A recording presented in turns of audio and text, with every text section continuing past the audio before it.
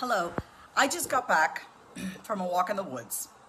So listen up if you have been losing your faith, your hope, your strength, your courage to navigate this period of time in your life. When I go walking in the woods, I don't take my phone with me, which is why I'm recording this now and I just got back home. I don't take my phone with me because I want to be completely present with the trees and the sky and God. And I, have gotten lost plenty of times in the woods, okay? I, like, because I, I don't have like a map with me or whatever like that. And obviously everything looks the same. and I'm not really paying attention to where I'm going. And it's fun to get lost for me. But what I do is that I always look for a landmark. I look for like a thing of cactus or dog poop. If I see something that I'm like, oh, okay, I'm gonna remember this on my way back so I know that I'm going in the right direction. Okay? I'll look for a landmark. I'll look for something, right? Like a weird tree or like a bunch of sticks or something like that. Now today when I was walking, I was so just lost in my thoughts and I was just just with myself and just kind of like, you know, going through stuff in my head and whatever. So I wasn't really looking for landmarks. I wasn't looking for things to kind of making sure to make sure I was on the right path and going in the right direction. But I did look down once. And I saw this piece of bark and it was like really bright green. It might have had moss on it or something, but it was like really, really bright green. It was a beautiful green piece of bark. And I just happened to look down and I saw it and it was bright green and looked like, like seafoam green, right? And I was like, oh, that's beautiful. And then I kept walking and kept walking, kept walking, kept walking. My dog's with me, whatever. And then I'm like, I keep walking and I'm like, okay, it's time for me to turn back. I gotta go back home. I gotta start doing stuff. So I start walking back. And then I'm walking, and I'm walking back, and I was like, shit, am I going in the right direction? I was like, am I lost? Am I going in the right direction? What if I took the wrong turn? Great, it's gonna take me forever to get back to my car right? So I'm saying all these things in my head. And I was like, you know what? You're fine, Vasavi. Just keep going. You will find your way back to the car. You're not going to ever be lost in the woods forever. This is a metaphor, but this also really just happened. So I'm walking and I'm like trusting that, like, okay, it's to be fine. I know everything looks the same right now. All the trees look the same. Sky's still there. Everything looks the same. I see dog poop. It's not my dog's. And I'm like, okay, just keep going. And then I'm walking, trusting myself that everything's gonna be okay, right? And I happen to look down and I see that same piece of bark.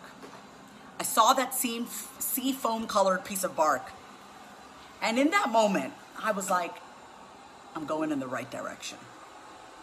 I'm not lost. I had confidence. I had clarity. I had an immense amount of faith that I was going in the right direction. What does this all mean? This means that wherever you are in your life right now, you may feel like, am I going in the right direction? Am I doing it right? Is this the way it's supposed to be going? Should I be doing it this way? Should I be doing that way? You might be overwhelmed with all these thoughts.